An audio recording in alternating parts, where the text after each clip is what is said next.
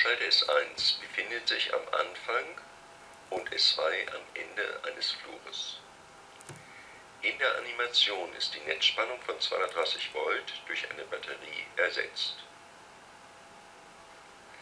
Angenommen, man möchte von S1 aus die Beleuchtung einschalten und S2 befindet sich in Schalterstellung D, so muss S1 nach B umgeschaltet werden.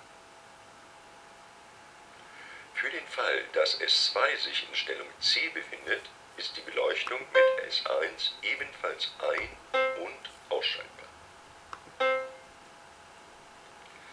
Wie man leicht erkennt, ist es auch vom Flurende, also mit S2 möglich, unabhängig von der Schalterstellung S1, die Flurbeleuchtung ein- und auszuschalten.